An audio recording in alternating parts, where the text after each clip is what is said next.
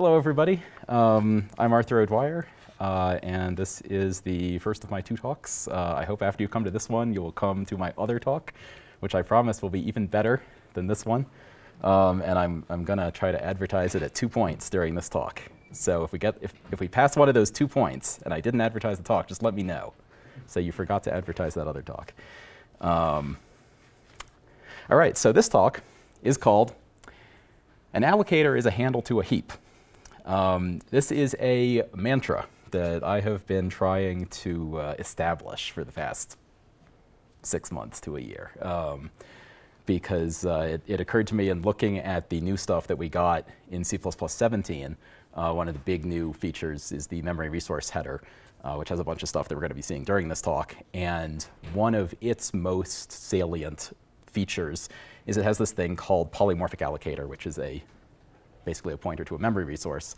Um, and looking at this has convinced me, at least, that this is true of all allocator types. An allocator is fundamentally a, a handle to a heap.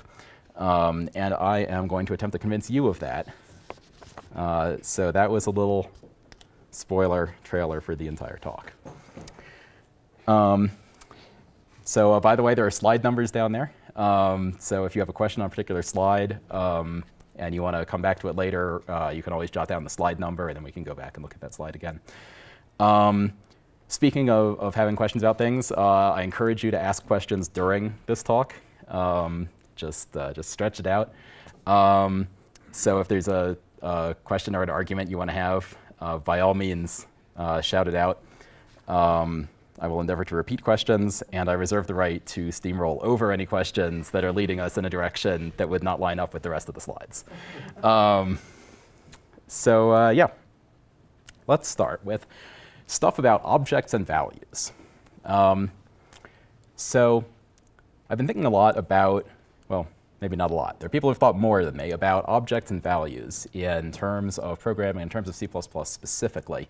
Um, now, the term object has a particular meaning in the C++ standard. In the standardese, you know, an object is, I think, a region of storage um, that has maybe a lifetime and so on. But um, I'm talking in more the Platonic sense, where we have this division between pure Platonic values, like the value 42, or hello world, or Wednesday, um, where it doesn't really have a it doesn't necessarily have a representation or a region of storage associated with 42 or Wednesday.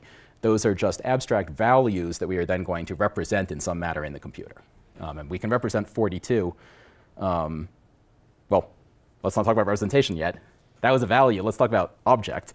Objects are things with specific regions of storage associated with them. Um, permanently, an object is identified by its address, um, by pointer, by the name of the object, by some unique identifier or handle. All of these things are synonymous for our purposes that I have an object, object A, and it's identified as, well, it's object A. Its value might change. Its state might change. It might not even have meaningful um, like a value, but it might have some state variables, some data members that get mutated.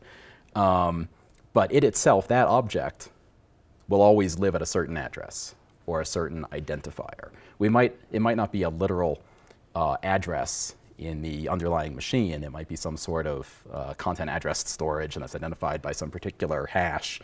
And it, but it's still got an identifier associated with it. Is that thing. Um, an object is a thing. And you notice I have some objects here. I have object A and B. Those are just ints, and they have values. Whoops. I said objects have values, and it just shut down on me because that's not true. Uh, I, I, we say objects have values. I say objects have values. I haven't really quite figured out what I want to say instead, right? Because there are some kinds of objects, like this widget over here. It doesn't have a value, really. There's no, it might not have a way to print its value, and it might not have a way to compare its value. And that might just be because it doesn't really have a value. Uh, you know, it, it's a, a really object-oriented kind of thing. If we have a, a, shape or a car, it might not have a value necessarily. Um, but in some sense, when I say B, and B is of type int, and it has these four bytes that represent 42, somehow I, I understand that that is the value of the object. And I haven't really figured out how to think about that yet. Um, and then important, I already mentioned this, but the, uh, the name of an object, the identifier of an object, is itself a value. Right? So um, the way I've seen this explained before is uh, I, Arthur, am an object. I have a particular body, and its state may change from time to time. Um, but it's always Arthur without quotes around it. But I also have a name, which is Arthur with quotes around it. Um, and that is a value. I, I can write that down and give it to someone else. I can make copies of the name Arthur. I can't make copies of the actual Arthur. Um, if I could, I would have more talks. Um, but the, the, the name of the object is itself a value. And so, for example, in C++, we see that pointers, uh, you can talk about a pointer value, and people do know what you mean by that, because a pointer identifies an object, but the pointer itself is a value. Um, so uh, where it gets confusing, I've, sorry, I've already skipped ahead a little bit, um, is that a C++ object is defined in part by its in-memory representation. Um, and so there's a sense in which an object of type int can have the value 42, have in quotes. I don't really know what that means. Um, but the value 42 as the Platonic value can also be represented in several different ways. I can, have, I can put it into 4 bytes. I can also put it into 8 bytes. And I can put it into 8 bytes in several different ways, depending on whether it's floating point or, or a non-floating point or uh, big endian, little endian. There are all these sort of different things that go into a C++ type um, that we don't think about in the Platonic world where we just have 42, and I write 42 in my source code. And I, you know, it will get implicitly converted to whatever particular type it needs to be. Um, so right, we have two different representations of the same value. Um, instead of saying the object has a value, we should really say the object state is such and such. Um, because objects, values can copy. We can make copies of values, we can compare values. Objects don't really copy and compare. Objects, in the object-oriented sense, might have a method named compare that looks at the state and compares it to some other object state. And it might have a method named clone that makes a new object whose state is in some way related to the previous object's state. But that's not really a copy in the like Stepanov sense. Um, typically, I, I want to try to really separate value types from object types. Um, unfortunately, that gets tricky because it's C++. Um, and so we have two ways of looking at a lot of things. We can look at a container, for example, as a value, um, such as the list 1020 contains two subvalues, 10 and 20. And we can talk about these things in the Platonic sense, and we don't necessarily need to have it uh, represented in memory in any particular way. Um, and we can talk about copying and comparing vectors by value. Um, but we can also think of it as an object that holds and manages elements which themselves are also objects with particular addresses and, and uh, so on. Um, and so there are two ways of looking at it. Um, and on this slide, there are mysterious symbols on the right-hand side of the slide. Uh, there's that box and that arrow, um, and it, the arrow is pointing to these other boxes. It's not really clear where they came from. Uh, there's much less mystery, mysterious symbols on the left-hand side because there are no symbols on the left-hand side. It's all platonic, just clouds. Um, once we start talking about boxes instead of clouds, we have all these questions uh, like where does that memory come from? Uh, what is the thing represented by the box and the arrow? Um, and probably some other questions too. And uh, who answers these questions? The, the answer of these questions is the C++ allocator model. So we're going, we're going to answer these with the allocator. So each container in the standard library is parameterized uh, on T, its value type, and also on the allocator type, A. Um, and the allocator is in charge of answering all those questions that we saw in the previous slide, um, most of which are related to the object representation or the objectness of, of this. Uh, where does the memory come from? It comes from the allocate uh, member function of the allocator. Uh, what is the thing represented by this little arrow in our diagram? Uh, it is a pointer, uh, but it is not necessarily a machine pointer. It's just an object of type pointer as defined again by the allocator type. The allocator type is answering all our questions.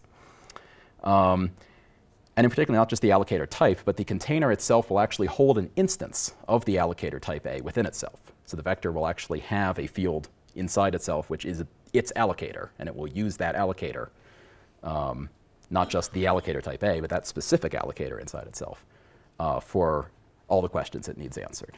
Uh, anything that can be funneled through that instance, obvi obviously you can't funnel the pointer type def through that one instance because you can't change the meaning of a type def at runtime. Uh, but anything that can be funneled through at runtime is funneled. So this raises the question of what can we put inside an allocator instance? Um, and this is a question that the old standards up to 17 did not really give us any uh, guidance on.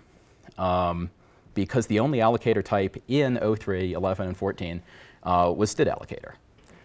Uh, asterisk, it has occurred to me that uh, scoped allocator adapter was also in 11, uh, but that's just an adapter. It didn't give you an actual allocator type. You could make a scoped allocator adapter of std allocators, but that would be silly.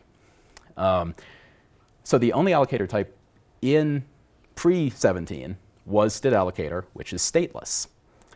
However, uh, even all the way back in 11 and really back in 03, although it was more kind of fuzzy, the rules were a little bit more Wild West back in 03, um, the allocator model had basically been pinned down. Um, that a vector would have an allocator instance inside itself. Things would go through that instance.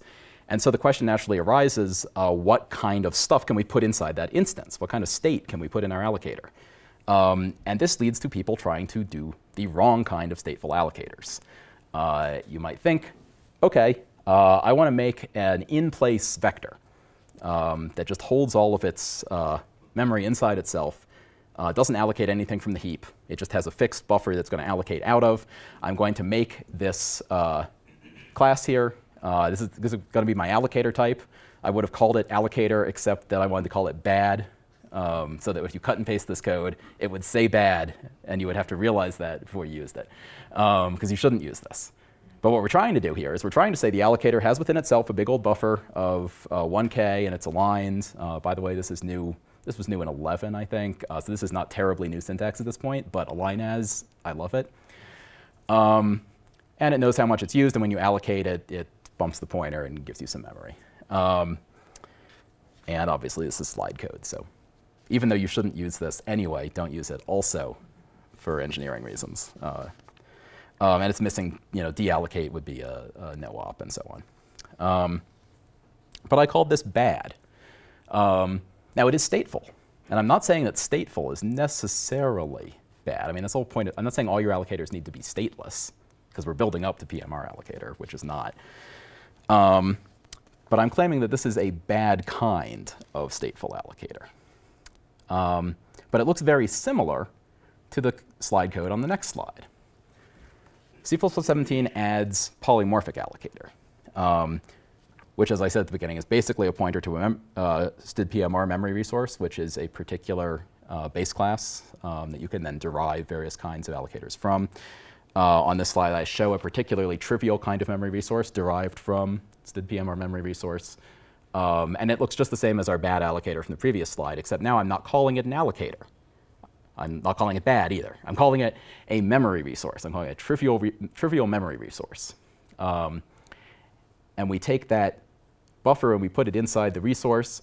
And then when we want to get an allocator, we're actually going to use a different type as our allocator. We're going to use polymorphic allocator of int or whatever our value type is. Um, and I'm going to pass to it the address, a pointer to this memory resource. So now I've, I've separated the state out from the allocator. Um, question?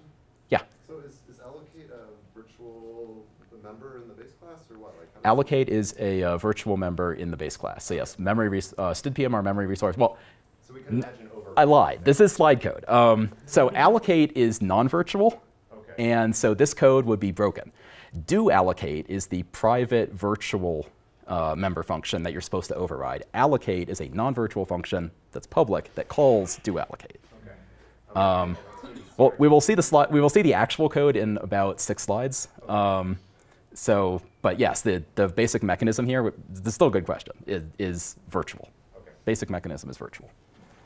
Um, all right, um, so we have separated our state from our allocator. So our allocator still has stuff in it. It's not stateless. It's not like std allocator, which is empty. It has stuff in it. But I would almost argue that it's not a stateful allocator. It's a valueful allocator. Our allocator now has a value, namely the value of the address of this memory resource, right? But it doesn't really have state. We're not going to be treating it as an object. We're not going to be mutating it there's a sense in which, just like an int can have the value 42, our allocator can now have the value address of this trivial resource. And so I'm going to keep calling it a stateful allocator, but it's not really state, it's value. Um, and I have a whole slide on that. Object like bad, value like good. Right. So our bad approach to making a stateful allocator, um, our allocator was object-like. It had a buffer directly within it. We were going to actually put objects into that buffer. Uh, it, so it had mutable state because we were actually going to change the value in that buffer. Uh, the source of memory was directly in the object. Uh, allocate and deallocate then mutated the object directly, so they needed to be non-const. Um, in our stdpmr polymorphic allocator, or anything that behaves like it, uh, it is value-like. It has state, but only immutable state, in a sense. Um, that it, its state represents its value, and that's all it is. Um, source of memory is shared among all copies of the header with the same value. This is actually going to become important in a couple of slides. Um, interestingly, allocate and deallocate can actually become const on the allocator, because the allocator, the allocator's version of allocate is just delegating to the memory resources version of allocate. Um, and so we could actually make it const. I think it is actually weird and a design mistake that is unrectifiable at this point that uh, the, ST, the original STL had uh, uh, non-const allocate and deallocate on std allocator um, and allocators in general. I really think they should have been const member functions. Um, uh, if our allocator object has state, uh, if we're putting things directly inside it, then obviously every time we move it to a different address or, or make a copy of it somewhere else, we are potentially introducing some sort of bug. Some sort of really difficult to find bug, too. Um, whereas if our allocator is value-like, if, all it, if all it holds is a value, then by definition we can uh, copy them around, we can even compare them for equality, you know. Uh, we can do all of the usual Stepanov uh, regular type operations on these uh, allocators, and that's awesome. Um, and then the one thing that might be considered a bad sign on the right-hand side is that uh, when we put all the state into the allocator, there was no shared state. Now this was a problem because then when we made a copy of the allocator, we, we copied something that wasn't supposed to be shared.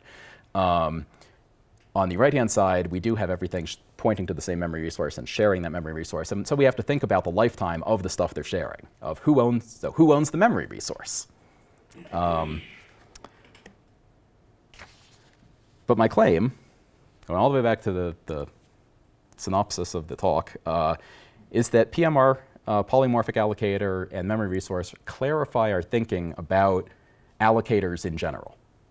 Um, it is a, a, very simple special case of what I claim is a general rule um, that an allocator value, the allocator is a value type, it represents a handle to a source of memory, and some other orthogonal bits that I will talk about. Um, but this explains how we can have heaps that are used by multiple containers, um, all of which have handles to that particular heap. Uh, we can also have allocators that just sit outside of the heap, uh, not even associated with any container, um, and are maybe used by a standard algorithm or uh, by a promise or future or something like that that needs an allocator. Um, and we can have separate heaps in our programs. And the number of heaps the number of allocators is not necessarily correlated at all. Um, okay, so I've said an allocator value represents a handle to a source of memory, and you're now thinking, what about stateless allocators? What about std allocator? It doesn't have any bits in it at all. It's empty. How can it possibly represent a handle to a memory resource? There's no memory resource associated with a std allocator. It just uses new and delete. Um, well, a stateless allocator represents a handle to a source of memory, plus some orthogonal pieces, where the source of memory is a global singleton. So std allocator represents a handle to the global new delete heap, um, which is a global singleton, if you're lucky. If you're using DLLs, I guess it gets more complicated. Um, but essentially, we want to think of the source memory as, as, a global singleton. And so how many bits do we need to represent uh, one possibility? We need log of 1, which is 0 bits. And so we look at how many bits the allocator has. It has zero bits. Cool. Math checks out. Just to drive this home, um, it's now been six slides, so I'm going to so show some actual code. And by actual, I mean not actual, but It takes up more of a slide. Um, so this is what stdpmr uh, memory resource looks like in C++ 17 in the standard library. We have the public interface, uh, allocate, deallocate, and a function called isEqual. Um, and uh, by the way, remember how I said objects can have a method that is named compare or is named is equal, but that doesn't necessarily mean that it's comparing values. This is a perfect example of that. And I'm kind of glad that it was not named operator equal equal. Oh, wait, it was. Um, but at least there's also a, a name for it. Um, and there's a virtual destructor. Um, and each of these public functions, uh, which again are not virtual, so they can't be overridden, those are just the entry points to get into whatever the uh, particular memory resource child class is going to do when it does allocate or do delete or do is equal. Those are pure virtual private members, uh, which are they're pure virtual, so they're not implemented by default, but each child class will implement them in its own particular way and can have its own data members and whatnot. And again, this is memory resource, so this is an object-like class. This is something you're going to instantiate, and you're going to have one instance of it somewhere specific in memory, and it's going to know about, uh, you know, a specific heap that objects are going to live on. It's not going to move around. It's going to sit in place, and you're going to you're going to mutate its state. That's why its allocate and deallocate methods are non-const because they are mutating. They're actually changing the state of the heap by allocating and deallocating things from it. Um, so a concrete example of a memory resource uh, would look something like this. Um, we've got uh, a function, uh, new delete resource, um, which is just a uh, function that would appear in the header or something. It's got a stat static singleton, uh, and it returns the address of that. Um, the static singleton inherits from memory resource and has overrides for the three virtual uh, functions in the implementation. It doesn't care about the public interface. Public interface was taken care of by the base class. It only cares about the private stuff, which means when I implement this, I don't even need to say public or private or anything at the top. I, I can just go straight into the implementation, which is kind of cool. I kind of like that. Um, uh, so we have do allocate, and it just calls operator new. And we have do deallocate, it just calls operator delete. And we have do is equal that just says, am I literally the same object? Do I have the same address? Then yes, then I'm equal. Um, so that's new delete resource. Um, and that is also in C++ 17. Uh, that's an example of, of, a kind of thing you can get from the standard library. And this is polymorphic allocator, stdpmr polymorphic allocator as it appears in the C++ 17 standard library, uh, with some bits trimmed out, I think, for the slide. Um, oh. in the previous slide. In the previous slide. The data type is called singleton new delete resource. Is there anything singleton specific in that data type? Um, yes-ish. So, so, so, number one, uh, singleton new delete resource is my private name. I should have said underscore underscore or something. Then people will yell at me if that's reserved for the implementation. Um, but yeah, the the singleton new delete resource is a exposition only type that I made up. The only thing that's actually mandated in the standard is this function, the new delete resource function, that's going to return a pointer to an unspecified uh, child class. And so you're basically asking, do I need, do I need this to be a static singleton, or could I just return the address of like a new object every time? No, no, I mean, in the name of the data type, what shall we lose if we omit singleton? Oh. We just name it new delete resource. Well, you can't name it new delete resource because that name is taken by the, the public API. Um, but you could name it new delete I memory resource some, or whatever. Something not containing the Yeah. word singleton. You could certainly remove the name singleton from it. John. I think the point that's being made is whether something is or isn't a singleton isn't tied to its type. So for example, you could have two pricing services that are both singletons, one's for stocks and one's for, you know, Right. something else, you know, derivatives, right? And, and, and they're both singletons, but they use the same data structure. And so the data structure is named pricing engine. And then you have the singleton, you know, equities pricing engine, you have a Right. You know, you see what I'm saying? Yes, so I do see what you're saying What he's saying is why build into the type its purpose? Why build into the type its purpose? There's nothing about it that necessarily means it has to be a singleton. I could make two of these if I wanted to, right? And he's saying Um, that would come up, because when you need one of them, You might need to. When you need one of them, you might need to. However, in this specific, and that's true in general. I absolutely agree with the, the pricing engine example, which I'm sure the camera didn't pick up. Um, but yes, like there are definitely cases where something might be a singleton, but only sort of by accident, and later you might need a second one. However, in this specific case, um, it is specifically designed for interacting with operator new and operator delete, which again form a global heap singleton. You're never going to have two operator news in the same program that do different things. And we have this is equal function, which is specifically concerned about object identity. If I had two of these things, two singleton new delete resources instances in the program, then they would not compare equal, but they would have the same effect. And that is unfortunate. It's not like, like everything's going to blow up, but it's unfortunate.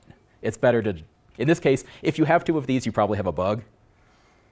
So it's not like you couldn't have two of these, but this is very strongly intended to be just one per program. So maybe, uh, hopefully to drive home the point or perhaps beat something that's already dead, uh, you named it singleton just to illustrate to us that the global heap is a singleton, whether or not we want it to be. The global heap is a singleton whether or not we want it to be. And that was the sole reason that I named it singleton. Let's go with that. Yeah, sure. Um, yeah. The uh, do is equal function, shouldn't that return true? Uh, the do is equal function, should it return true? No. Because notice it does not take a singleton new delete resource ampersand. It takes a reference to any memory resource in the entire program, and it's virtual. Um, so uh, now you might ask, I almost expect someone to ask, shouldn't it like dynamic cast or weird like that? And it used to. In one of the published, maybe in the published standard it said that. It was a DR. It definitely shouldn't say that. Equal equal should never do a dynamic cast. That's crazy. Um, and so now it doesn't. Um, but yeah, it also can't just return true because it can point, it's any object in verb, yeah. So if you would have gathered, a, so if it was allowed to have multiple objects of this one, the do is equal would have returned type ID is matches. Uh, Because all singleton new delete resources are considered equal, so if you had multiple one of yours, it should guard against that, but because you only have one, could you implement operator e- or do is equal as if like type ID equal equal singleton new delete resource, then say true, otherwise say false. Uh, yeah, probably, probably, but let's not. Let's not do that. Yeah, one more. No, I should go on. sorry if this is, you know, slightly non-related, but what if you overloaded the non-do underscore methods and mark the class final? Uh, is that kind of the intended customization point for things that aren't expecting to be polymorphic memory resources? Should we- Maybe. You're saying should we ever overload the public API of memory resource in our child class? Yes. No, no, no. Don't So do that. Forced to use the virtual function. Do Yeah. overload the public resource. I mean, you can. It's just that then it will do a different thing depending on whether I've got memory resource star or new delete singleton star. You can't override them.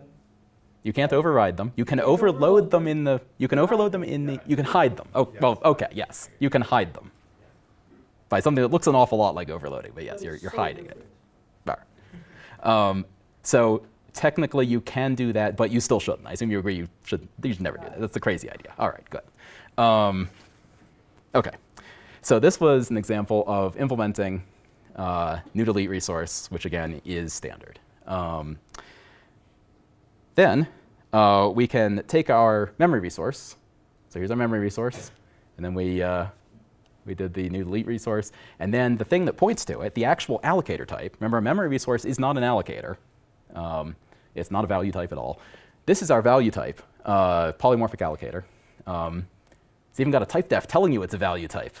Um, no, it doesn't. Um, and it contains a pointer to a memory resource. Um, and notice that it has functions allocate and deallocate, uh, which are non-virtual, uh, and they could be const, but they aren't, um, because all they do is take the memory resource that we're pointing to and delegate to its allocate and deallocate functions. Um, Is there any reason why it takes a raw pointer in the constructor, not a reference? Why does it take a pointer and not a reference? Um, I don't know exactly, but uh, I think taking a pointer is nicer because it's got pointer semantics. Like, But I can you can pass null, and that might be bad. Um, but if normally when I take something and I, I pass in x, I'm sort of expecting it to work with the value of x, or, or in some, you know, I'm not expecting to worry about lifetimes. I think that taking a pointer makes it clearer that, okay, yeah, it's going to have a pointer to this thing. I better make sure I understand what the lifetime is. Uh, I don't know the history. John might. It's an ancient rule that when you're going to retain the address of something beyond the call of the function, if you pass it by reference, you need help.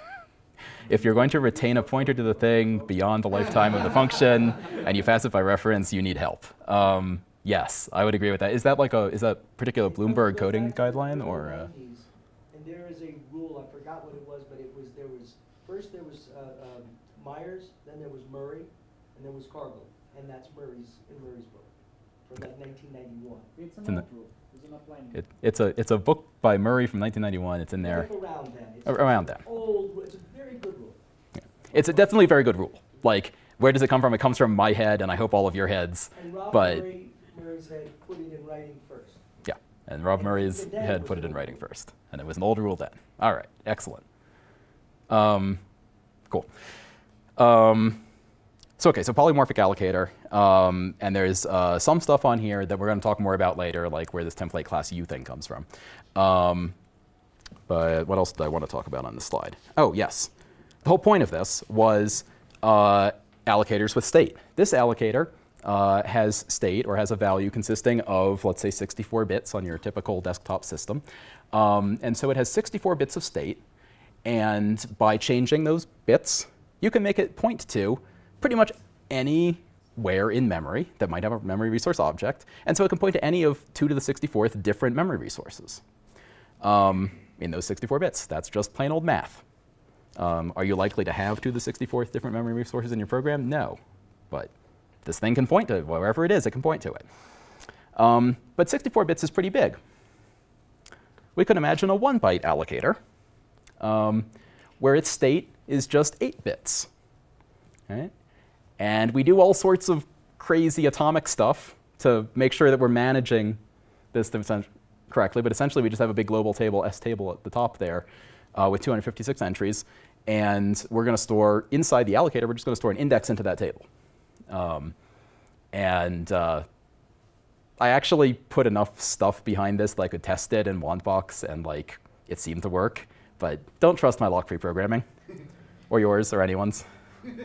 Um, but so this is an allocator. It's, it's a perfectly cromulent allocator type, um, and it only has eight bits, and it can point to any one of, of 256 different allocators in the entire program, um, because that's two to the eighth.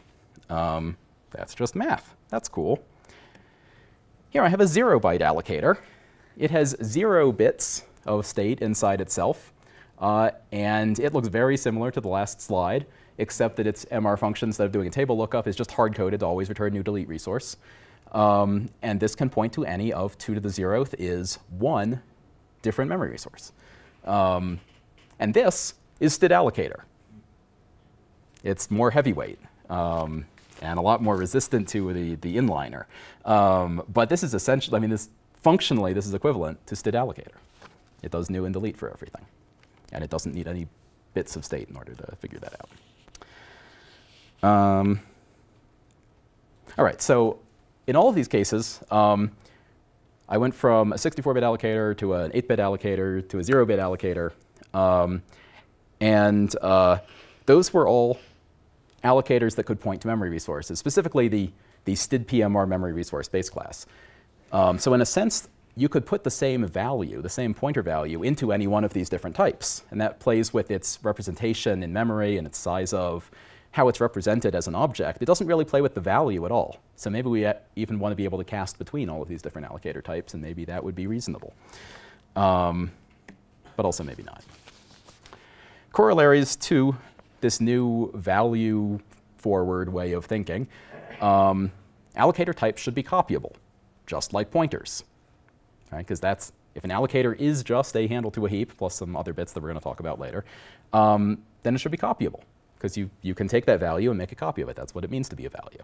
Um, and this was always true and always necessary to be able to make copies of allocators, but now it's very obvious, I think. Um, allocator types uh, should be cheaply copyable. So not just copyable, but cheaply copyable, just like pointers. They don't need to be trivially copyable. And we saw an example in the one byte allocator where the copy constructor actually had to do some work to maintain some reference counts um, because it was worrying about the lifetime of the point and to memory resource.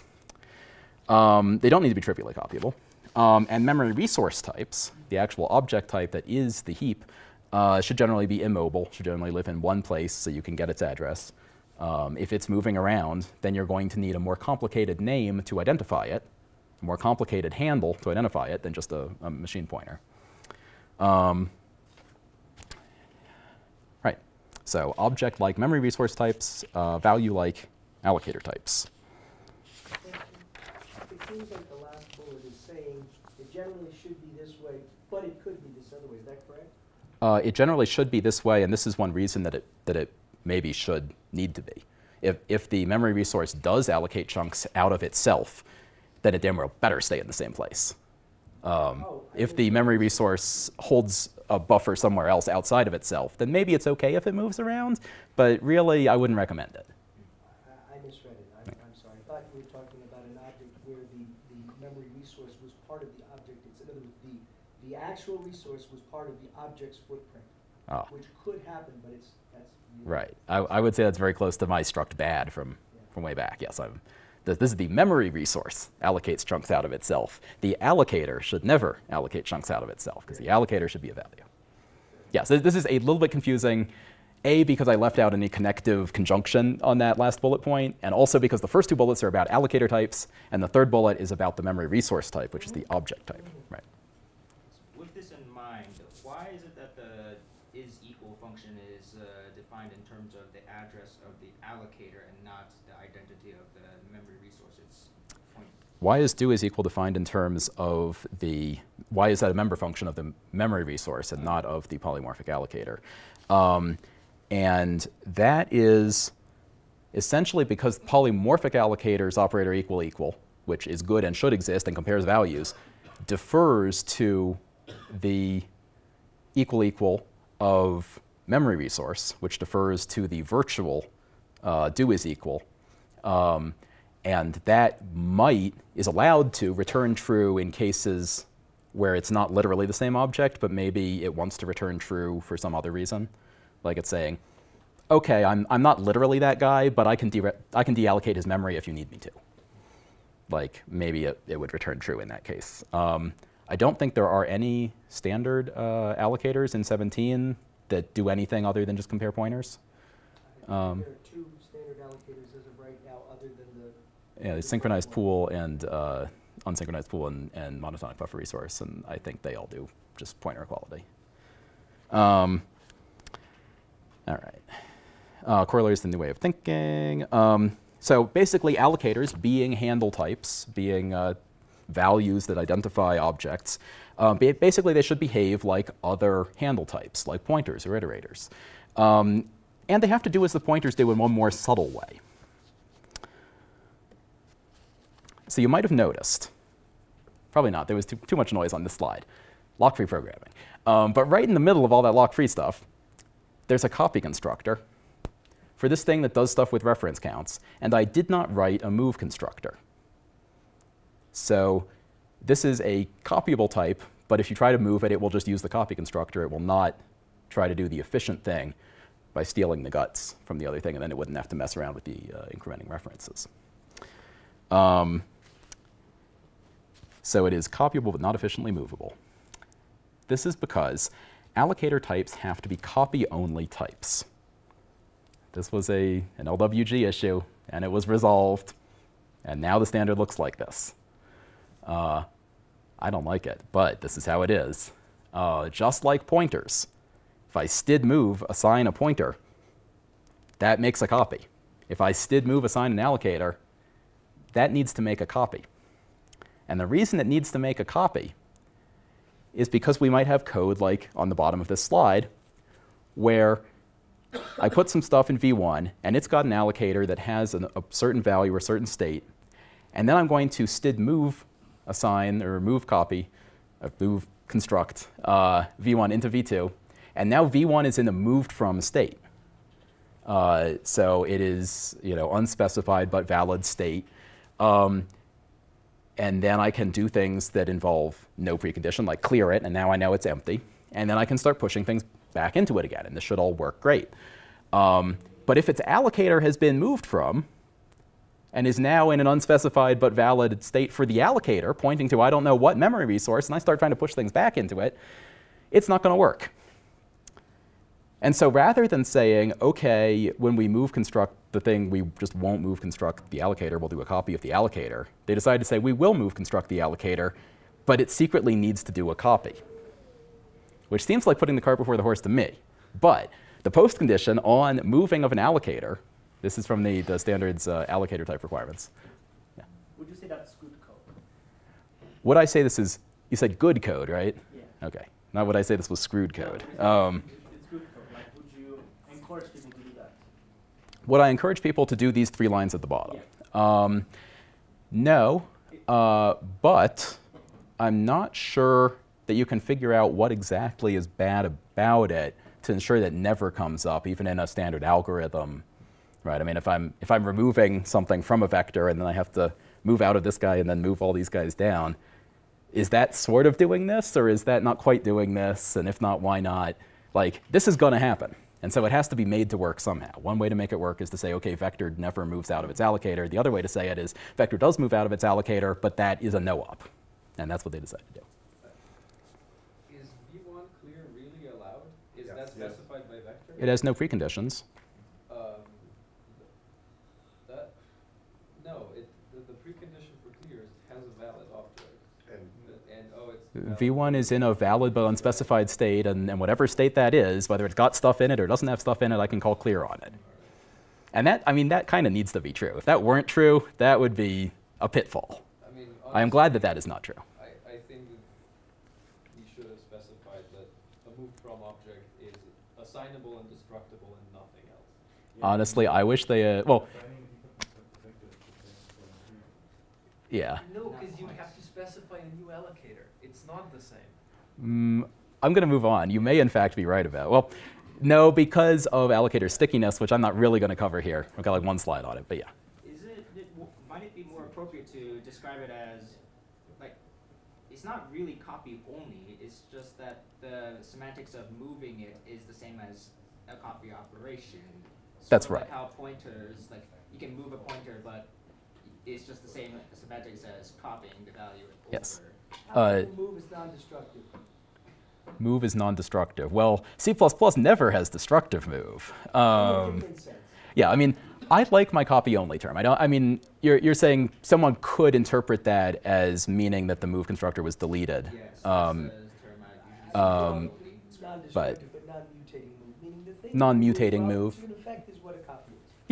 it is, it is a type with a non-mutating move. I'm going to keep saying copy only because I don't think that's really, I don't think that's confusing um, terribly. I mean, it, it's definitely ambiguous when you get into the details, but I, I think if I say this type is copy only, it's sort of like when you do a move that's equivalent to a copy. It wouldn't mean like, oh, you're trying to move it, I'm going to stop you from doing that. Like, why would it stop it? Just make a copy. Um, so uh, so this means that you can't move allocators any more cheaply than you copy them because they have to copy even when they move. And so uh, how worried do we actually have to be about the cost of copying an allocator? Um, is this something that, that's going to add up if I'm copying all these allocators all the time and I can never save by, by moving? Uh, so I wrote a little test. Uh, just, just, this is just, I wanted to put some numbers in this presentation. Um, so these are uh, allocators copies and moves that happen on the allocator uh, object uh, when you do a, uh, a list copy assignment, or a, sorry, a list uh, copy construct or uh, move construct, or the same things with vector. Uh, before and after the M dash turn out to be the same, but it's just before the M dash is uh, for stateless allocators like std allocator. After is if they have state, because the rules are slightly different, if, if they're sticky, if they uh, don't propagate on copy. Um, and it turns out the same number of copies seem to be made in both cases, according to my test. Uh, now my test uh, did run into a pitfall at first because I was inheriting from std allocator, and so I was inheriting all of its uh, nested type defs, and uh, uh, I think I caught that. Uh, this pitfall will be explored more in slide 32 of my talk tomorrow.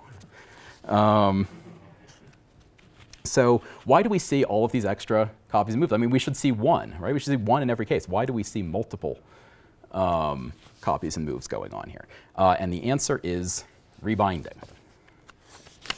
What is rebinding? Allocators are what I'm going to call rebindable family types. And I'm sure we can, we can also bike shed this name. Um, but I'm going to call it rebindable family. And because um, you might have noticed that on std allocator and all allocator types, the, uh, the type to allocate, the value type, uh, is baked into the allocator type itself. So I have an alloc of int, an alloc of long, an alloc of double, an alloc of void star star star. And these are all different types, different C++ types.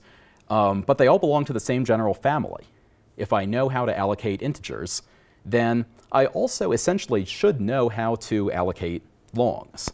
Um, I just need to somehow take this allocator I've got and manipulate it to produce longs instead of ints, or space for longs instead of space for ints. Um, and uh, right, so type to allocator is baked into the allocator type. Uh, allocate of int dot allocate to means allocate to ints specifically. I don't have to say uh, what type I'm allocating because it's already baked into the type of the allocator. Uh, and this works great uh, because I can allocate n ints, and that will allocate space for n contiguous ints, and that works great if that's what you want, and that's what you want if and only if you're implementing std vector. Um, std list does not want a bunch of ints in a row. std list wants a single node uh, right? And it's going to have a t, but it's also going to have a you know, forward pointer and a back pointer and, and some other stuff. Uh, and uh, std map uh, actually requires that the allocator type's value type be the value type of the map, which is std pair of const k comma v. And if you get that type wrong, you have undefined behavior. That's not very cool. Um, and it doesn't even want to allocate that type. It's like, I wanted to find a, a GIF or something of uh, or is it Veruca Salt or Violet Beauregarde? It's Veruca Salt. I was like, give, give, me, give me, give me, give me that type. I need that type specifically. Oh yeah, I don't care about that type. I want a different type. Um, um, so every allocator type is really a whole family of related types. Uh, an allocator value, which is representable in one of the family's types, must be representable in all of its types. So if I have a handle to a heap expressed as type alloc of int, I should be able to convert that value from type allocator of int to type alloc of long. Um, whenever I am preserving the value, doing a value preserving type conversion, so I know the value will be representable in the new type, um, and there's no weird danger about lifetimes or anything happening here. Um, how do I express a conversion in C++? I express it with a static cast, right? An implicit conversion or explicit conversion. Um, and so I should be able to static cast between different allocator types. And we saw that earlier with the template of class U um, in the uh, polymorphic allocator slide. Um, so rebinding. Rebinding is useful when your generic al algorithm requires a foo of t, um, where uh, you, the library, are providing the t or, or multiple t's, uh, but your user is providing the foo. The foo is the strategy. The foo is the handle to the heap. Um, and T is something that you're making up that the user may not have access to, like a list node type. Um, there are at least two ways to do this. Uh, way number one, preferred by the STL, is rebinding, uh, which works through a traits class. We have this allocator traits in the standard library. Uh, you get the allocator traits of your current allocator, and you ask it to rebind the allocator to you, and it gives you back a new type, which is alloc of you. Um, the other way that it would be natural to approach this problem is template-template parameters. Um, which look like this. They've been in since C++ 03. Compiler support back then probably was what kept them from really being used in the STL, would be my guess. Um, and this looks like it might be simpler, but it's maybe a little bit less flexible. Um, and uh, let's see. Uh, oh, uh, when I say template template parameters are unused in the STL, there, there might be a question, uh, are, aren't they used by the container adapters? Stack and queue doesn't stack default to vector and so on. No, but, the, but stack defaults to vector of t specifically. And so it doesn't actually take a template template parameter. It just takes a class parameter. Question? In the first of these two classes, what is U? In the first of these two classes, and the second one, what is U? Uh, U is uh, like a list node type or some, some internal type that I am provided. It's one of my T's in the text at the top. It says, you provide the T's. So that, that's this U, is one of those T's that I'm providing. The user has given me an allocator for some T that I don't really want, and I'm going to rebind it so it can allocate U, whatever that is. I should have picked a letter that wasn't also an English word. Yeah. Uh, I think the reason is actually that you need a meta closure for the for the allocator type. You do need rebind allo because the allocator type could have more than one template parameter, and so you couldn't pass it as a template template parameter because the signature of the template wouldn't match. Uh, you, uh, observation about why template template parameter wouldn't work out of the box. Uh, answer, it could, you just need to wrap your thing in a helper class. It- it- yes, exactly. But Uh, or a helper type def, which. I hope is what we're getting toward. I hope we're going to get that I can pass an alias uh, type def into this thing and it will just work. Um, uh, and I think on some compilers these days you can, and I think the support is somewhat spotty as to what, where you can put dot dot dot and it will magically be ignored or accepted, or I'm not sure. Um, uh, so allocators are rebindable family types, um, and uh, the STL does not use this way. Um, there's one more way that didn't fit on the slide, by the way, which is that you could pass in the basically pass in the traits type itself um, instead of passing in A of t and then I call allocator traits of A of t. I could pass in alloc traits directly, and then I could say alloc traits colon colon rebind alloc. Um, and also, I don't think there's anywhere in the STL that uses that, although regex traits and char traits get close. But they don't actually parameterize any types this way.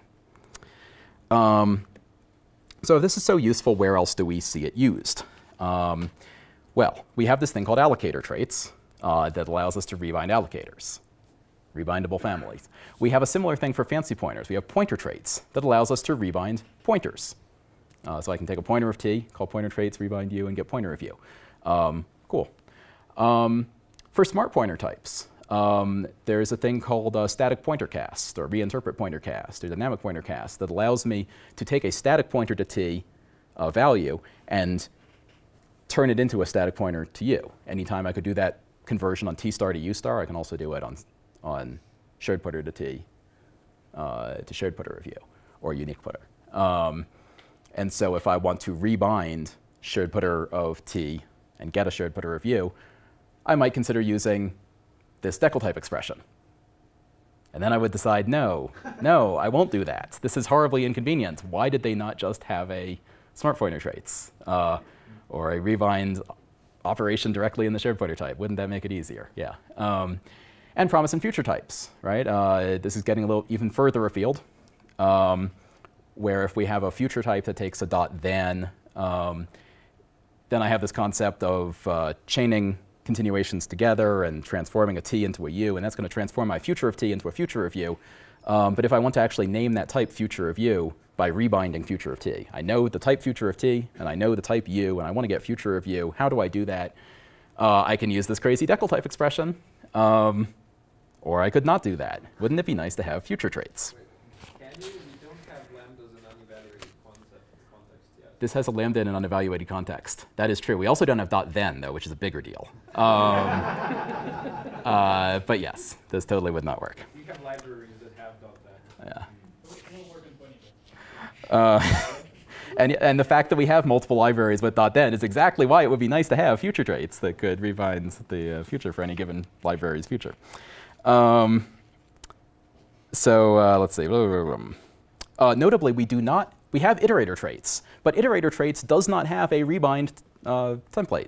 We are not allowed to take an iterator of, you know, vector of int colon colon iterator and say, that's nice, I want the same value, but I want it to iterate over longs. No, you're not allowed to do that because it doesn't make any sense, right? So it makes sense that we don't have that. I contend that it doesn't make sense that we don't have it also for these things where I think it does make sense. Something like that. Each rebindable family has a prototype uh, or a representative of the equivalence class. Um, and uh, C++ is kind of lucky in that we have irregular void. Um, so void is kind of a magic type that we can use uh, as the, the, the, the logical place for us all to meet if we want a, a proto, prototype. Um, we have, uh, you know, void pointer is, is considered uh, magic in some sense to allocators, that they have a pointer type def and a void pointer type def, because there's something special about void. Um, and so pointer and smart pointer families have a void pointer type, um, sort of a prototype for that family of, of fancy pointers or uh, smart pointers. Uh, allocator families have a proto-allocator type, alloc of void, um, with an asterisk that no, they don't really, but I'm trying to get this idea out there that they should. Um, and this, act, this concept is actually coming. I, I don't see any way that it's going to get derailed, given that it's in the networking TS and the executors TS uh, proposal. Um, that there's going to be a way to get the, the proto-allocator, which is just something that it may not itself be an allocator. Note it's not an allocator. It can't have an allocate function because that would have to return you know, space for n void objects, which doesn't exist. Um, so it doesn't have allocate or deallocate, but what it does have is you can take this value, the, a value of that type, and you can rebind it to get an allocator of int or an allocator of list node or whatever you need. Um, and so this is useful because if we were designing the STL today, yeah. Previous. You sure it's not this one? Future void. Uh, I'm I'm not convinced about that. I would see future of STD any as a prototype. Now, maybe. Ooh, future no. void is I don't return a value. All I do is like join on completion. Yeah, but from this definition of prototype, I see that it's mostly like a generalization of pretty much anything in the family. It's a, it's a generalization in a very specific type system way. That the question was, why is the prototype for future future of void instead of future of any, uh, like future of std any? And the answer is std any is this crazy heavyweight library type. Um. But, but conceptually, it's also because std is this crazy heavyweight library type. It doesn't make sense to have your prototype be this crazy heavyweight library thing when it could be this very simple built-in, already kind of magic void right? And again, we're not gonna, we're not actually gonna create objects of, of the, well, in this case, we might create an object of this type. Um, but it's essentially just carrying around this, and you know what? Future is actually significantly different from pointer or allocator um, because future is not carrying around a value, whereas the other two very clearly are. We can have a value of void pointer type, and we can rebind it to get it, which means static cast it to get an int star or whatever we need.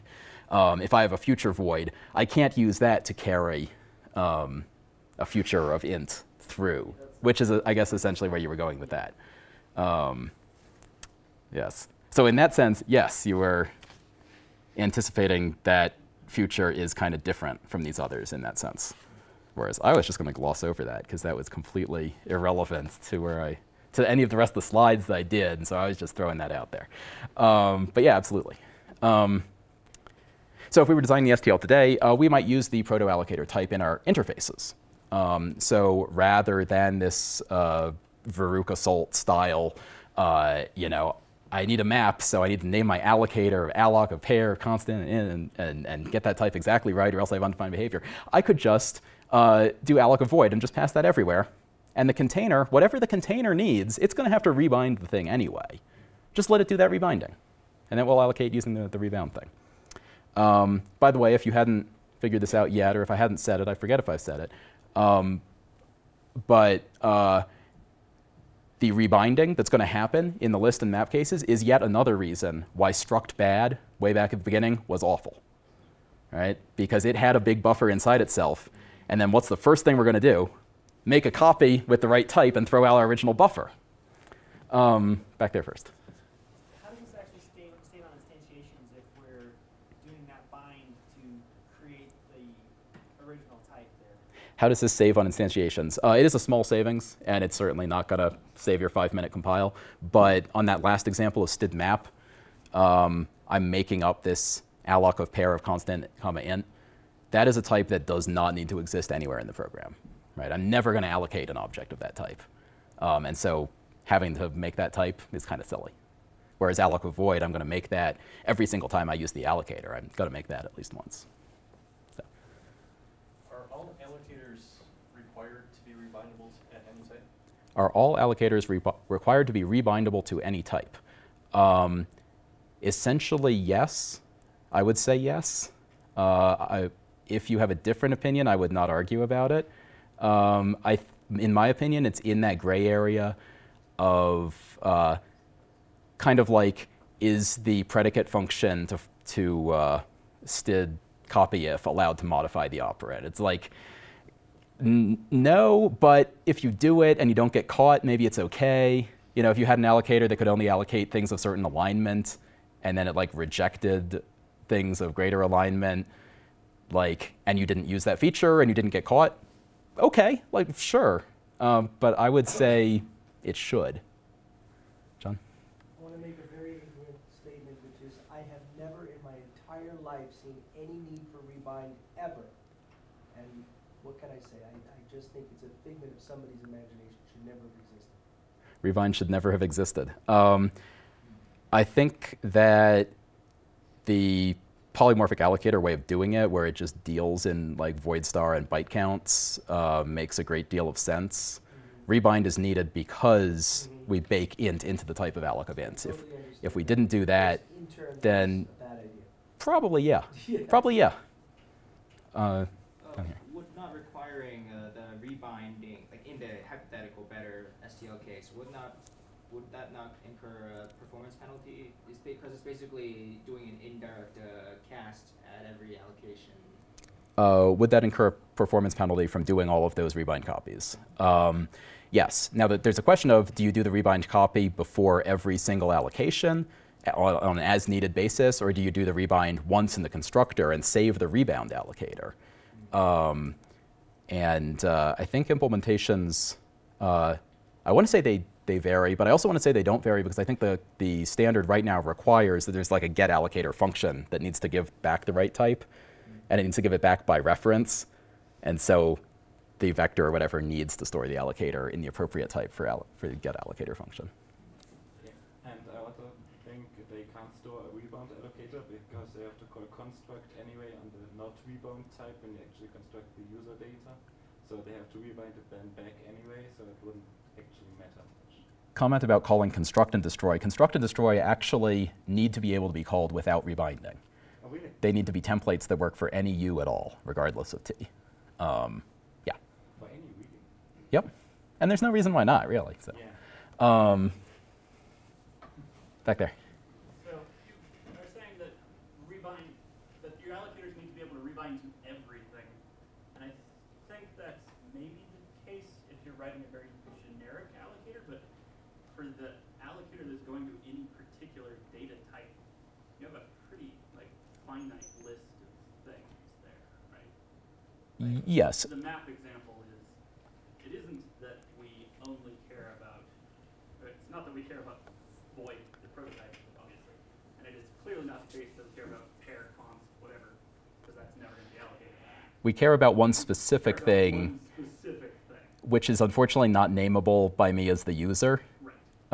Um, so yeah, uh, for further pragmatic skepticism, very very realistic skepticism about do we need to be able to allocate absolutely anything. Um, and no, we need to be able to allocate one very specific thing that unfortunately in many cases we can't name. And think is the key.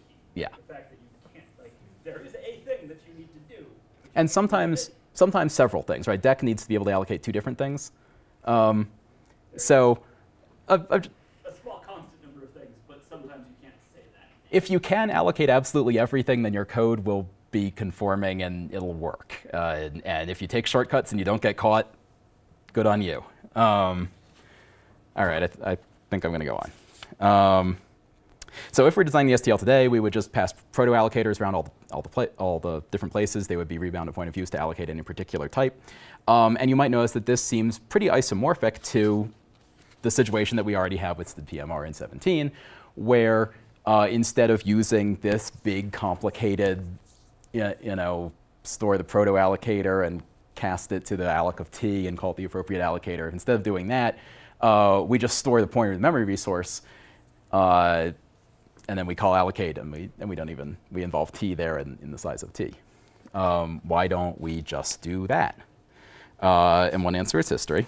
Um, but another answer, another answer is that this polymorphic allocator thing is fairly big. It's the size of a pointer, and maybe we don't want that. Um, another answer is that an allocator is more a pointer to a memory resource. So, title of the talk is an allocator is a handle to a heap. But every time I say that, someone says, no, it's more than that. So I'm going to say yes, and it's more than that. Um, An allocator is more than the source of memory. Um, so when we write this code, um, and we are rebinding malloc uh, into the alloc t, and then we're calling allocate on it, and we're getting back a pointer, and we're assigning it to a variable of type auto, which be deduced. PTR here will be of type allocator traits of alloc t colon colon pointer, which is a type def, which is usually t star. It will certainly be t star for polymorphic allocator and, and for std allocator. Um, but the standard leaves the door open for it to be something fancier, such as offset putter of t, or, or uh, if you are going to Bob Steagall's talk on fancy pointers, uh, opposite my talk tomorrow, which you shouldn't do because you should come to my talk. um, he's going to talk about um, uh, his particular brand of, of, synthetic pointers. Oh, he's in the audience and he's going to. Some, of some of you should come. All right, everyone on this side, go to his talk. All right, um, yes. Um, uh, so the allocator is more than the source of memory, uh, and the pointer here will be of type uh, pointer, which, which, can be a synthetic pointer. Um, it is completely up to the allocator to decide how its pointers are represented.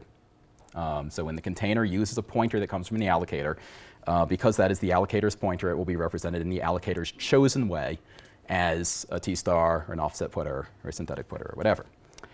Um, unfortunately, its pointers, deciding which pointers belong to the allocator, is kind of vague and wishy-washy. Um, this is the you made this GIF. I made this. Um, so we, we said the container uses the pointer for all allocations. So here we have a std list, more or less. Um, and it's got the list object, and inside the list object, it has a head pointer and a tail pointer. Um, and it's also got the size, so it doesn't have to walk the list when you ask it for the size. Um, and then off on the heap, uh, controlled by the allocator, uh, we have these nodes that we've allocated, and they have pointers pointing internally. And, and so all of these mnext and mprev, these are going to be the pointer type, the fancy pointer type controlled by the allocator, which again is generally just a native pointer, but it could be something fancier like offset putter. Um, now, there are two interesting things to notice about these pointers. The first interesting thing is that these two pointers on the left uh, are stored outside the heap, but they are still allocated pointers, and they must be stored using the fancy pointer type.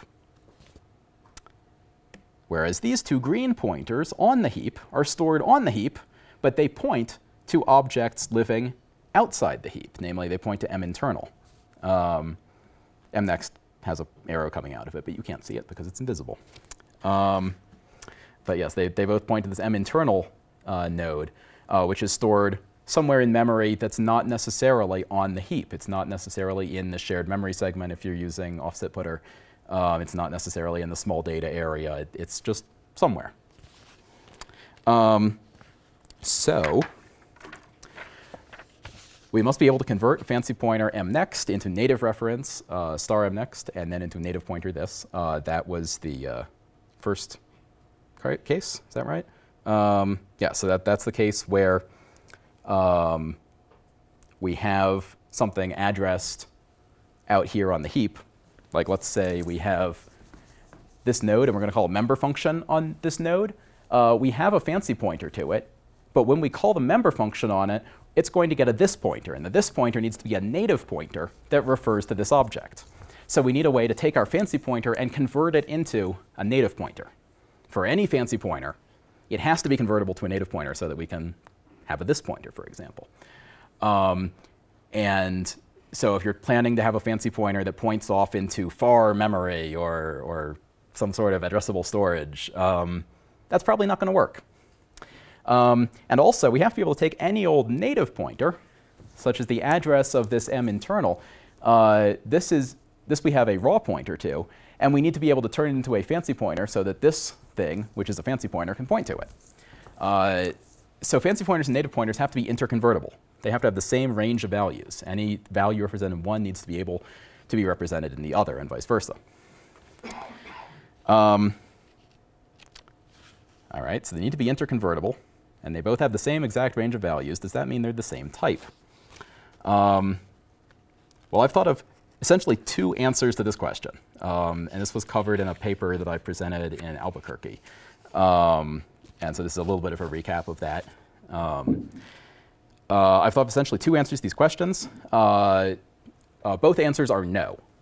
Um, they are not necessarily the same type. Uh, and there are two reasons. First reason is C++ type also involves object representation. This is the bit that I got uncomfortable with at the beginning, comparing and contrasting objects and values.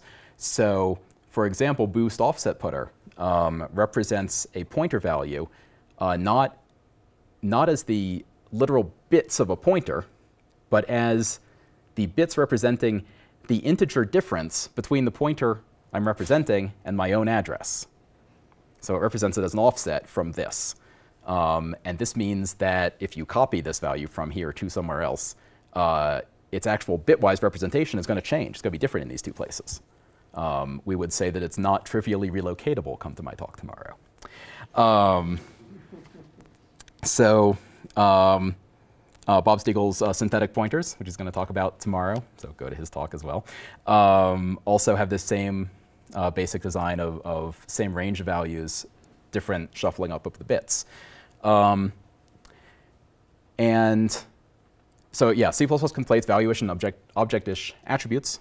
Um, and it might have been better somehow, philosophically, I can't quite wrap my head around this, but to somehow have a pointer representation type and the pointer value type separately so that I can manipulate pointer values up here in value space and copy them around and whatnot, and then only when I go to write them into memory and give them an address, I use the object representation, and on that I set the value or I get the value, and I don't use operator equal and, and copy construction, all these other things that really feel slightly different from what I'm doing when I'm putting these bits into memory. But of course, that's one of the great strengths of C++ is that it conflates them so seductively that you don't even notice until you get into this stuff and you're like, oh, wait, how did, how did this ever work? Um, the other idea I thought of, so object representation, the other possibility for a fancy pointer not being just a native pointer is that it could be augmented with extra data. Um, so it could be not just a native pointer, but also some more stuff, uh, such as metadata uh, used by the deallocator. Um, I've called these segmented pointers. I know that's a bad name, but I can't think of a better one, and we're not going to shed that one right now. Um, but it could contain something like, hey, deallocator, when you go to deallocate this pointer, I know it came from this slab, so go use that one. Um, the deallocator might not even work without that metadata. Um, uh, fat pointers could carry metadata used during dereferences, like array bounds. They could catch, uh, you know, if you do an addition and it takes you outside the range of the array, it could, uh, it could trap on that. Um, these are neat ideas. Uh, I believe they are intended to work with Boost Container. Uh, they work only inconsistently or accidentally with the actual STL. Uh, different vendors, different containers have different levels of support for these. Um, and so it, it's not even like a you know use libstd C++ or use libc++ or they all get things wrong. They just get different subsets of them wrong. Um, and I would love to see this be supported by the standard um, but mostly for philosophical reasons. Um, just I, I would like to see the pointer values carried through rather than constantly being cast to native pointers and back, because that loses you information such as array bounds, uh, such as uh, metadata used by the deallocator. Um, so uh, a C++ allocator, uh, so a, a, a, fancy pointer is not just a native pointer, it's also this other stuff. And uh, a C++ allocator is not just a handle to a memory resource, but it is also the decider of how pointers are represented, the pointer type. And it is also, uh, we're not going to talk about this much, but uh, the uh, decider of whether the source of memory uh, should move with the container value or stick to the original container object. Because remember, we had two ways of looking at containers. A container could be viewed as a value containing subvalues or as an object managing subobjects. Um, and so uh, there are a bunch of member type defs in allocator traits, uh, which it gets from the allocator type, um, which are colloquially called POCCA, POCMA, and POCS, uh, which stands for propagate on container copy out assignment, propagate on container move assignment, and propagate on container swap. Um, those are their full names with underscores. Um, they're crazy long, and that is why they have colloquial names. Um, so Bob, if I'm not mistaken, and this is where you should correct me if I get this wrong, um, but you call this lateral propagation of, of, I'm taking a, a vector with a certain allocator, assigning it to a vector with a different allocator. Does my allocator propagate over to this across the assignment, or do I just copy over all of the elements and use the same allocator on this side? That, that's what it's called, but it's not my name. Ah, whose name did you think it is? People smarter than me came up with that name. Someone smarter than Bob came up with it. Well, that, that narrows it down, right? Um, um, I call it stickiness. I, I, don't like this propagation thing. I, I call it uh, stickiness. When you when you're assigning over this, do, do we, does the original allocator get replaced, or does it get does it just stick with the allocator it had? Um, and you might want this if you're treating your containers as objects. This container, this vector, is actually going to live right here. Here's the buffer it uses. I never want it to, I never want its data pointer to point somewhere else, because that's just going to confuse the heck out of me. I always want its data pointer to point right into this, this buffer it has right next to it. Um, in that case, I make it sticky. And I set that on the allocator type, not on the allocator value. I can't do that at runtime, but I can set it at compile time on the allocator type to say this will be sticky. Polymorphic allocator is sticky by default. Uh, std allocator and all other stateless allocators are non-sticky by default. Um, although copying a stateless allocator shouldn't change anything, so I'm not actually sure why they need to be non-sticky. Um, and then the last thing is uh, a C++ allocator is also the decider of how containers, subobjects, or elements should be constructed. Um, it has a member function construct and destroy. Um, construct is always called whenever we're trying to construct an object. So basically, instead of places where you would normally just think, oh, I'll placement new something, uh, using the allocator model, you actually have to delegate that to the allocator and say, hey, allocator, how would you like to placement new this thing? And then when you destroy it, you have to say, hey, allocator, how would you like to arrow tilde this thing? Um, and the allocator generally says, yeah, I'm going to placement new it. I'm going to tilde delete it. I'm, you know, uh, I'm not going to do anything fancy. Um, but there is an example in the standard of someone doing something fancy, and that is scoped allocator adapter, uh, which actually passes itself down, or passes a sub-object of itself down to the placement new, um, so that it can sort of propagate itself down into the elements of something and make sure that all the elements are using the same allocator.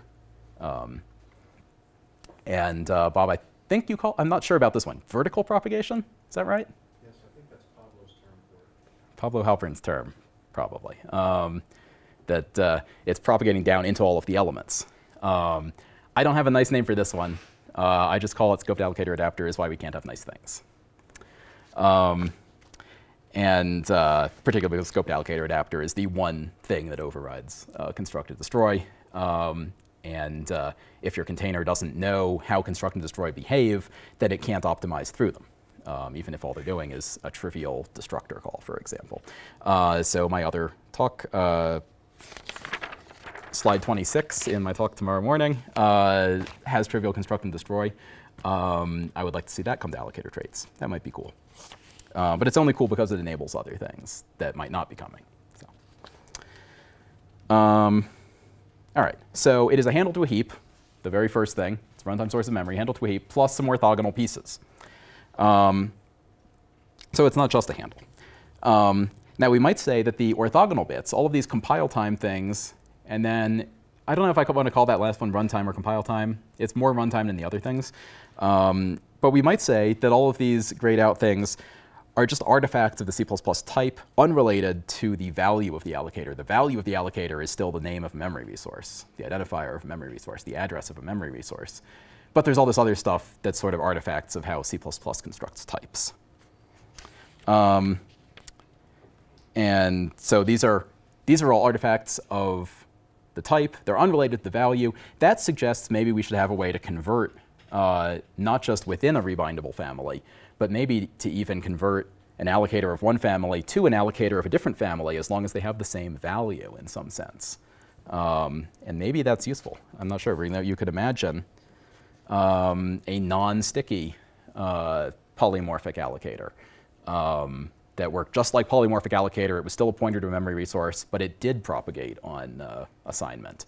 And uh, there is probably a good pragmatic reason for why that's not in the standard, probably because one was seen as more useful than the other.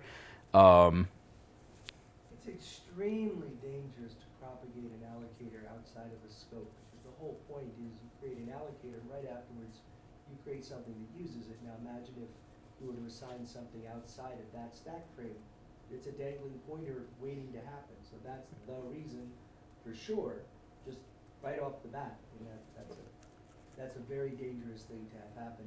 And I think, in general, you think of an allocator like a V-table as a part of the type of the object, it's part of its runtime type. And that doesn't change, ever. It's just, it's just not resident within the object. It is a pointer to something else that is shared. You're saying an, an object's uh, source of memory should not change over its lifetime, or else you're going to have dangling pointer bugs and all kinds of bad stuff is correlated with that. type. Think of it like a Yeah. Uh, think of it like a V-table pointer. Um, yeah, um, I think that that is generally true. Uh, although I think in your case you're specifically thinking about uh, like stack buffers, where I have a trivial memory resource on the stack, and I allocate out of that buffer, and if, if that escapes, then obviously I have a dangling pointer and I have a bug. Um, That's the classic example, though. I mean, that's- and that is the, the most useful and probably most common example of, of how you would use one. allocators, for example, are used exactly in that case. And Right. if you propagated with monotonic allocators, the world would end immediately. Right, but we can think of memory resources that aren't uh, monotonic buffer allocator, that are like a thread local allocator where I know I'm going to deallocate it on this same thread eventually, but I'm going to let the value go around, pass by value, return by value, come back to me. Maybe. Eh, I'm- definitely there are reasons you wouldn't want that, but there might be a case in which you would. In that case, you could write an allocator adapter um, that would uh, change PACA and POCMA, and it would not affect uh, the value, of the source of memory, and then you could like take your allocator and cast it back and forth. I don't know. Um, you could make a fancy allocator adapter that wrapped around the native pointer adapter and, and turned all of its pointers into uh, fancy pointers for bounds checking or some other reason. Um, you could do this with offset putter, but that would be a horrible idea and wouldn't work. Um, and I don't use it very much, so I'm not going to get into that. But it's not as useful as it looks right off the bat. Uh, grafting fat pointers onto an arbitrary heap, fat pointers being the things you could do bounds checking on. Uh, that sounds more useful. Um, and I am running out of time, which is great. Um, how are analogous handle types handled in other areas of C++? Um, so I'm saying an allocator is a handle to a heap, or an allocator is a handle to a memory resource. Um, notice the lack of underscore in memory resource. I'm not talking about the concrete uh, virtual type. I'm talking about the, the concept of memory resource. Um, so an allocator is a cheaply copyable handle to a memory resource plus some other bits. Um, an iterator is a cheaply copyable handle to the contents of a container in some sense. That one's a little bit weird. Um, and it has some other bits, such as the direction that it goes when you plus plus it, reverse iterator. It can switch that direction. It's an iterator adapter um, um, that just changes one little thing about the type while leaving everything else the same. Um, by the way, my uh, synopsis promised that I was going to explain the difference between facade and adapter. Um, I don't know how well I did it, um, but at least in Boost's case, uh, they use facade to mean uh, there is some simpler set of primitives. I'm just going to implement those primitives, and I'm going to get everything else from the facade. The facade is just going to sit in front of my implementation, which is very small, and it's going to provide postfix operator plus plus and you know things like that. Um, and then the iterator adapter means I'm adapting some other type. I'm going to keep an instance of itself of it within myself, and I'm just going to over. I'm going to delegate most things to it and override certain things. So that's like uh, uh, reverse iterator is an example of an adapter, and also these adapt the adapters in the previous slide. Um, we're now well into the speculative part of this talk, by the way. Um, so. Uh, P0443 is a proposal for executors. Um, it's on revision 5 at the moment. Uh, and in that proposal, an executor is a copyable, I'm assuming cheaply copyable handle to an execution context, uh, plus some other bits.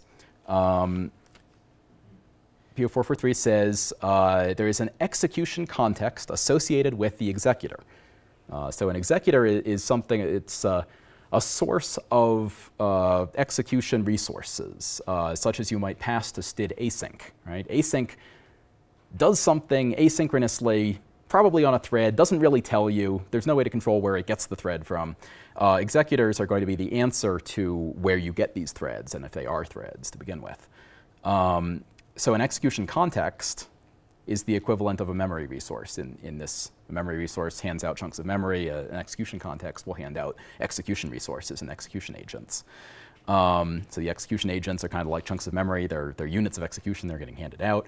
Um, and the execution context is a program object. It is object-like. It's just going to sit in one place, maybe not physically in one memory address. It might not even have a memory address. It, it's a thing that lives out there conceptually in one place. And the executor is more like a value type that gets passed around, maybe copied, um, and refers to the execution context and delegates to it whenever it needs something, like to spawn a new thread. Uh, and just like uh, monotonic buffer, which we talk a little bit about here, there's also something like a static thread pool proposed to be coming to the executor's library.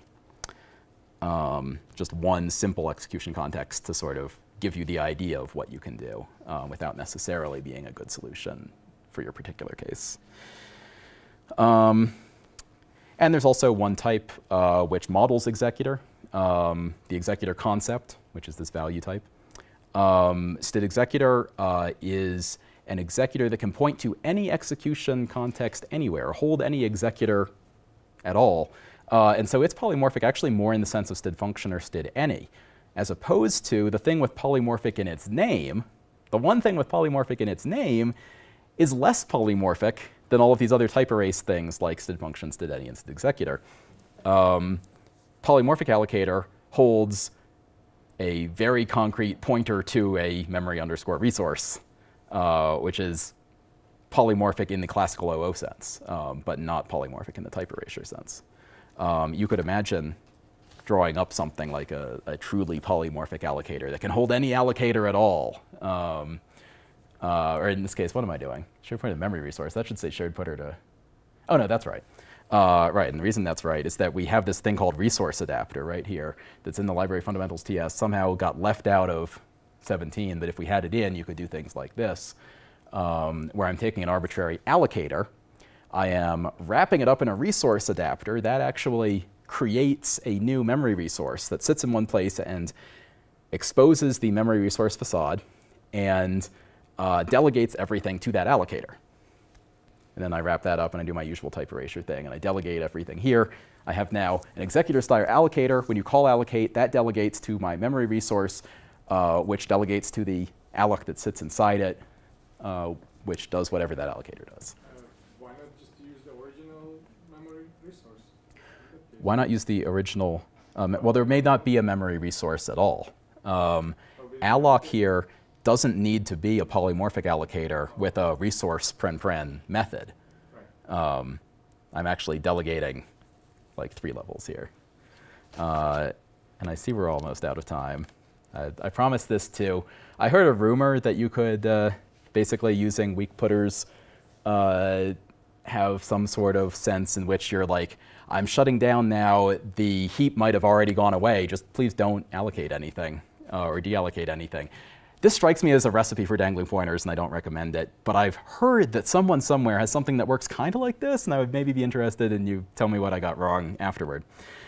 Uh, you could also do something like a shutdown quick allocator where the only difference is uh, if the global Boolean shutting down now, then just don't bother deallocating anything. Again, seems like a terrible idea. Don't, please don't do this. Or if you do do it, do it right, and then tell me about it. And with that, we're at questions, and we've got 29 minutes left. That's great. No, we have 29 minutes until the break, or until the end of the break. So, um, thank you. Questions?